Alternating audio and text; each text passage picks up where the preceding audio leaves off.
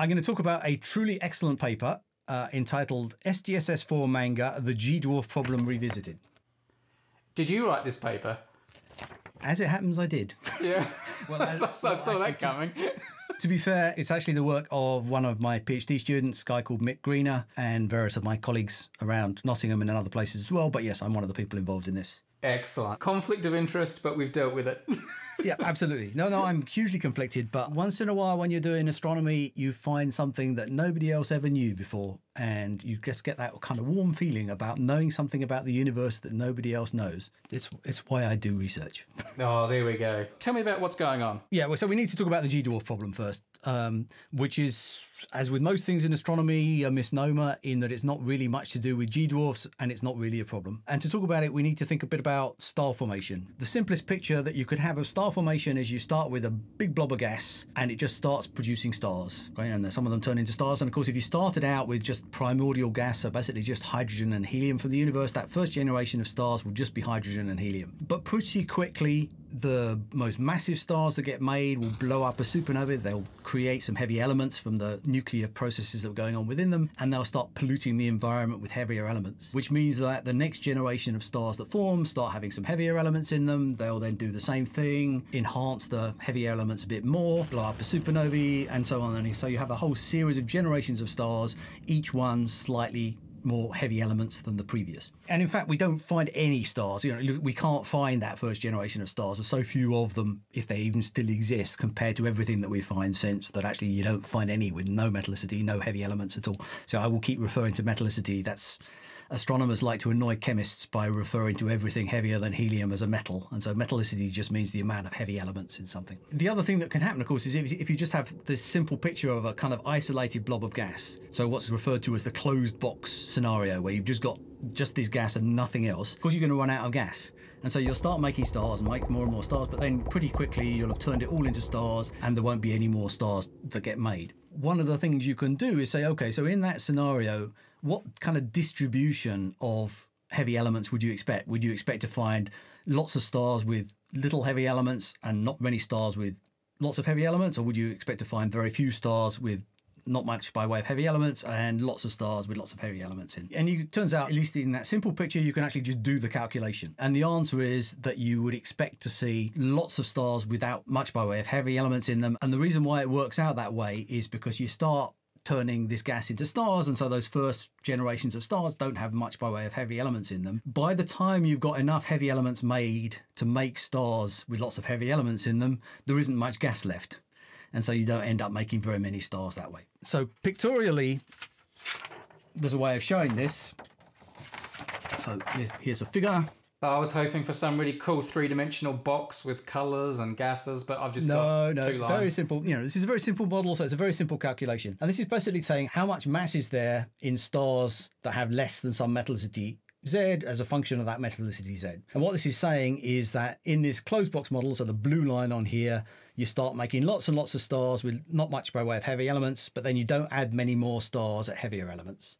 So you end up with a curve that looks like that. Unfortunately, that's not what you see in the Milky Way. If you look at the Milky Way, and in particular, the first place people looked at this was at G dwarfs. This is why it gets called the G dwarf problem. So the sun's a G dwarf. It's not specific to G dwarf. There are lots of G dwarfs out there, so they're easy stars to look at. They are unevolved stars, so they haven't kind of stirred up all their own insides. They haven't generated lots of heavy elements of their own. What you see on the surface of a G dwarf is pretty much what that star was made of. So they're good from that point of view, and they're bright enough to see a reasonable distance away. The picture we said is what we naively expect is you'd expect lots of things without much by way of heavy elements in them and not very many with lots of heavy elements in them. Yeah. What you find in the Milky Way is completely the opposite. So, in general, stars in the Milky Way are more polluted than you would have expected. Exactly so. The simplest way it turns out to fix this is instead of having this thing called the closed box, you can have a thing called an accreting box, which is just basically you start out with a certain amount of gas, you start turning it into stars, but as time goes on, you feed more gas in. And it turns out that fixes the problem. Naively, you might expect it would make things worse because you're feeding in primordial gas. So this is gas which hasn't been polluted at all.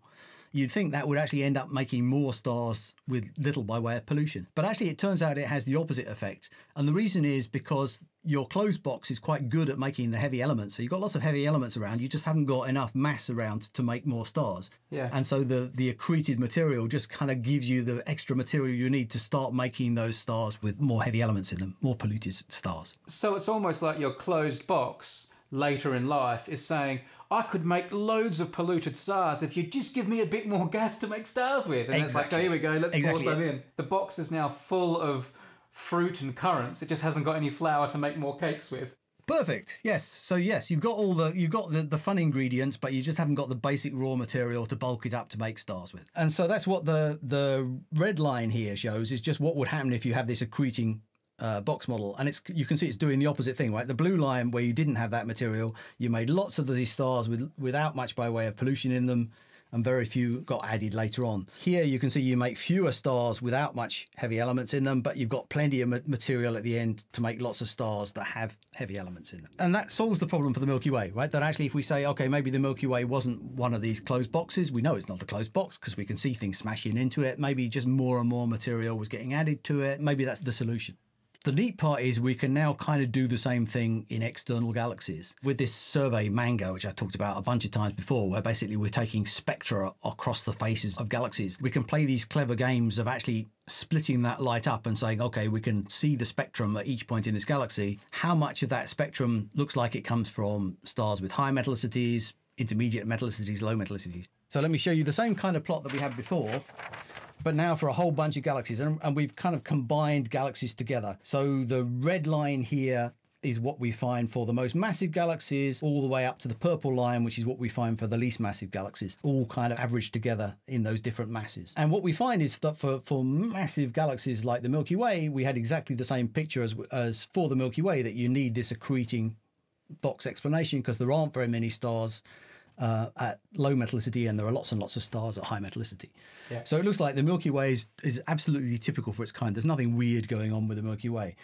The more interesting thing, though, is as we go down in mass and look at lower and lower mass galaxies, when you look at the lowest mass galaxies, which is the purple one here, there they look very much like the closed box, right? That actually there are lots and lots of stars that are formed with these low metallicities, so the curve goes up very quickly to start with, and then we don't add very many more when we get to the higher metallicities. So it looks like low mass galaxies really do behave as if they were kind of closed boxes, that you don't actually have to keep adding mass to a low mass galaxy to explain its distribution of metallicities.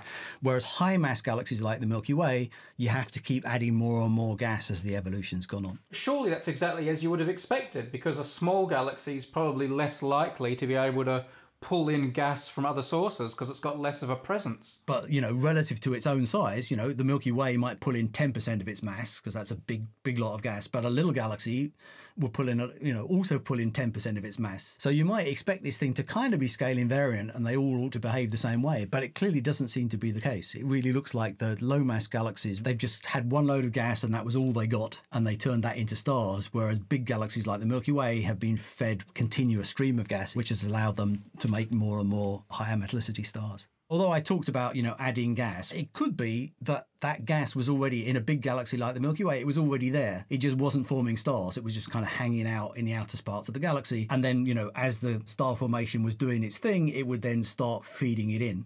Whereas little galaxies, it looks like all the gas is involved in star formation all the time, which is another way of saying that it's much better mixed. Everything's all mixed up, so that actually there isn't one load of gas over here which is not forming stars, and a load of gas over here that is forming stars.